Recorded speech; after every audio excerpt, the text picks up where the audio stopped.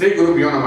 శుభం బియాదు మకర రాశి వారికి రెండు వేల పదిహేను పద్దెనిమిది మే పదిహేనవ తారీఖు నుండి ముప్పై తారీఖు వరకు ఏ విధంగా ఉన్న విషయానికి వస్తే మకర రాశిలో కుజుడు ఉచ్చ స్థితిలో ఉండడం కేతువు కూడా అక్కడే ఉండడం అదేవిధంగా చతుర్థంలో రవి బుధుడు ఉండడము పంచములో శుక్రుడు ఉండడము తర్వాత రాజ్యస్థానంలో గురుడు ఉండడం ఈ విషయం ఉండడం కనిపిస్తుంది. ఇక్కడ రాశిలో కుజుడు నుండి ఉచ్చస్థితిలో ఉన్నాడు కాబట్టి అనుకున్న ప్లానింగ్ ప్రోగ్రామ్ డిజైనింగ్ సక్సెస్ఫుల్ అవ్వడానికి బాగా కనిపిస్తుంది.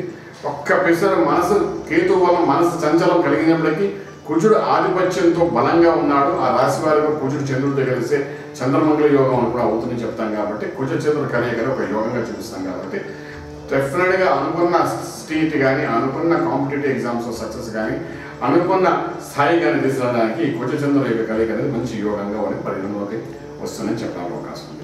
ప్రభుత్వ ఉద్యోగం కోసం చేసే ప్రయత్నాల్లో సఫలీకృతమే అవకాశం ఉంది బ్యాంకింగ్ సెక్టర్ తర్వాత ఇండస్ట్రియల్ సెక్టర్ అదేవిధంగా చూస్తుంటే ఇన్సూరెన్స్ సెక్టర్లో పనిచేసే వాళ్ళు ప్రమోషన్స్ ఇంక్రిమెంట్స్ వచ్చే అవకాశం ఉంది. ఐటీ రంగం వాళ్ళు కూడా ఈ కుజబలంతో అద్భుతమైన ఫలితాలు వచ్చే అవకాశం ఉంది.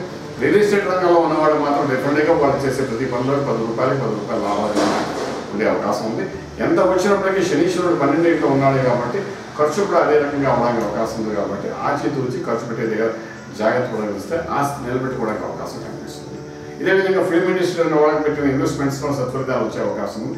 మళ్ళీ రీఇన్వెస్ట్మెంట్ చేయకుండా జాగ్రత్త పడగలిగే ఒకసారి లాభం వచ్చిన తర్వాత ఇండస్ట్రీలో మళ్ళీ రీఇన్వెస్ట్మెంట్ చేయకుండా జాగ్రత్త పడగలిగితే శనీశ్వరుడు ఉన్నాడు కాబట్టి రీఇన్వెస్ట్మెంట్ పేరుతో పెట్టించి అది మళ్ళీ ఖర్చు పెట్టించే అవకాశం ఉంది కాబట్టి కొంచెం జాగ్రత్త పడితే మాత్రం ధనాన్ని వచ్చిన ధనంలో కొంత దాచి మిగిలిన దాంతో రీఇన్వెస్ట్మెంట్ చేసుకోగలిగితే డెఫినెట్గా ఆర్థిక బలం పెరిగే అవకాశం ఉంటుంది.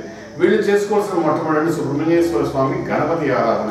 ఈ రెండు చేసుకుంటుగా ముందుకెళ్ళగలిగితే డెఫినెట్గా ఆ గణపతి కటాక్షంతోనే ప్రతి విషయంలోనే సత్ఫలితం రావడం రాజమార్గంలో రాజయోగం పొందే అవకాశం ఉంటుంది శుభం వ్యాధి